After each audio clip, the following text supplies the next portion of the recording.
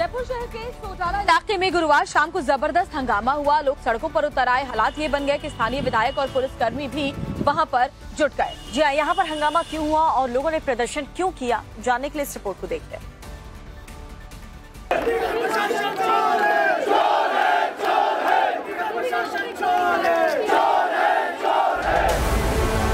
जयपुर शहर के सोडाला इलाके में एक घर से गौवंश मिलने से हंगामा खड़ा हो गया। स्थानीय लोगों का आरोप है कि घर से बदबू आ रही थी।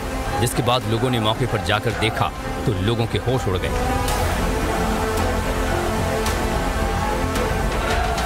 निर्माणाधीन बिल्डिंग के टैंक में गोवंश होने की सूचना मिलने पर स्थानीय लोगों की भीड़ मौके पर जमा हो गई। लोगों ने टैंक में जाकर देखा तो गोवंश सड़ रहा था। इसके बाद बवाल खड़ा हो गया। गुस्साए लोगों ने बिल्डिंग मालिक के खिलाफ कार्रवाई की मांग करते हुए प्रदर्शन शुरू कर दिया।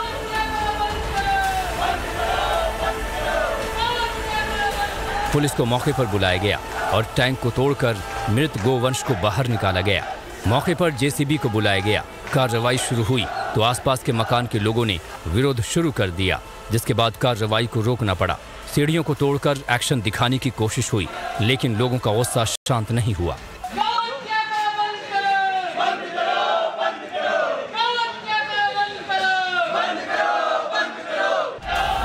जाँच में पाया गया है कि बिल्डिंग निगम की बिना अनुमति के बनाई गई थी।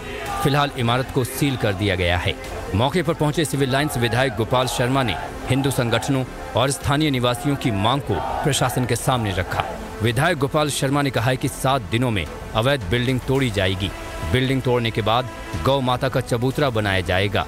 गौ संरक्षण समितियों को विधायक कोष से 25 लाख की मदद दी जाएगी। विधायक ने दावा किया है कि बिल्डिंग नहीं टूटी तो धरने पर बैठेंगे। हंगामा और बवाल को देखते हुए मौके पर पुलिस और आरएसी की बटालियन को तैनात किया गया है।